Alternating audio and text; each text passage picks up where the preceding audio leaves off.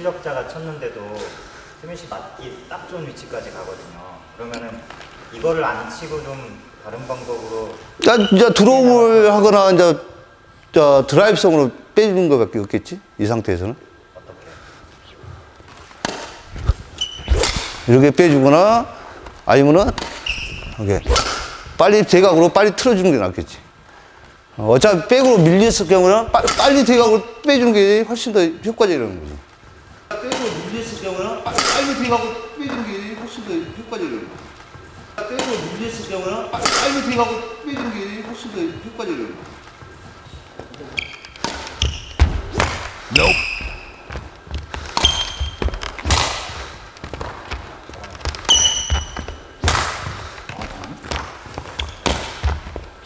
이걸 여기서 대각을 깎을 상이면은 낱개를 빨리 놔야 돼. 낱개를 빨리 빨리 올려주라고. 이렇게 해서 빨리. 이렇게 해서 빨리. 이렇게 해서 빨리.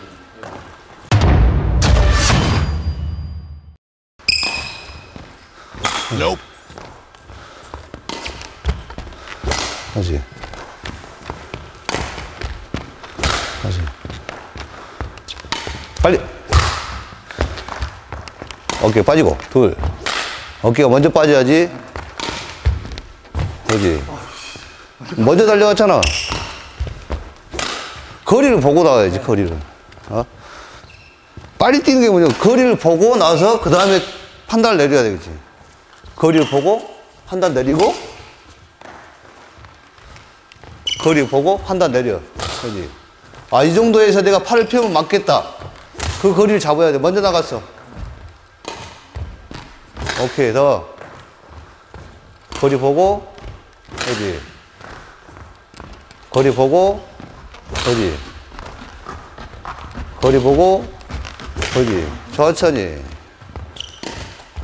그지 더. 동호인식은 아까도 말했지만은 끊어치는 걸 배웠, 배웠기 때문에 자꾸 끊어진단 말이야. 이걸 마지막 순간에 힘을 살짝 빼주면 되는데 이걸 라켓에 놓칠, 놓친다는 생각으로 잡아버린단 말이야. 먼저 잡기 때문에 자꾸 빠져나오는 거지, 힘이. 어? 정확히 라켓 끝이 정확히 가지고 해야 되는데 라켓 끝을 먼저 잡는 거지. 예, 스윙, 자, 스윙 자체가 자꾸 빠져나가는 거지. 그래서 아까 왜 스윙은 크게 그려주라는 이유가 그거랍니다.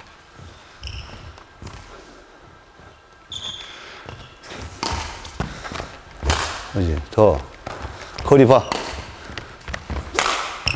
또 끊어치네.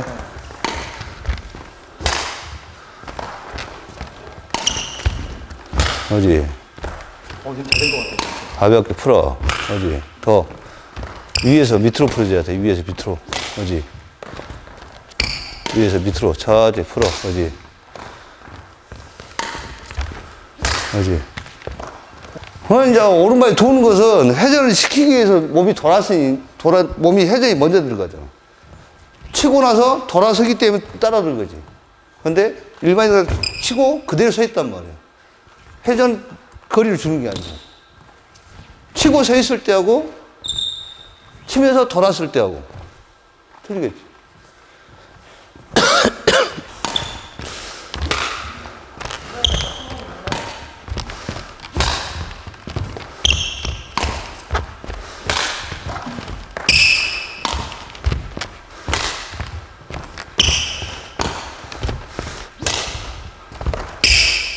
지금 이 친구 같은 경우는 왜 그랬냐면은 아까 말했던 질문했던 것 같이로 뒤에서 이런 식으로 넣는단 발이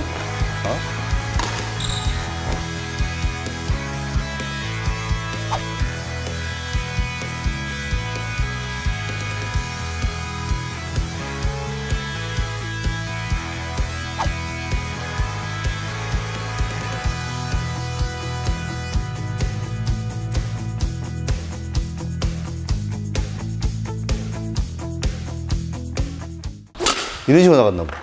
발이 넘어가는 볼이야. 빼고 넘어가는 볼이기 때문에 치고 돌아서야 되는데 지금 뒤에서 출발하기 때문에 자꾸 이런 식으로 나가요. 거리를 못 맞추니까. 앞에서 넘어가는 볼을 보고 치고 나서 돌아서야 돼. 발 자세가 정확히 딱 잡혀야 돼.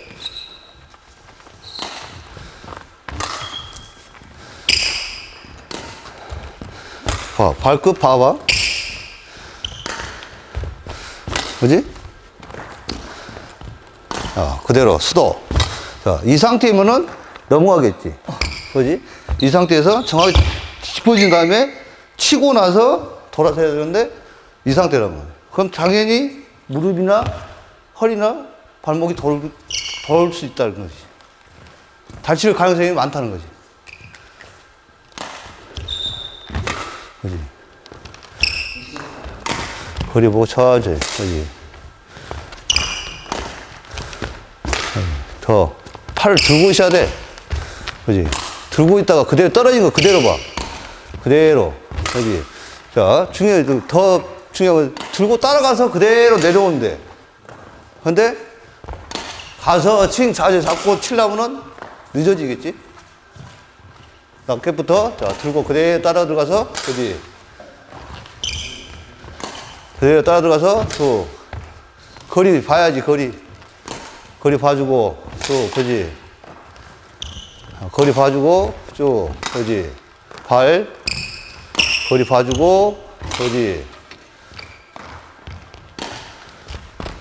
더. 더.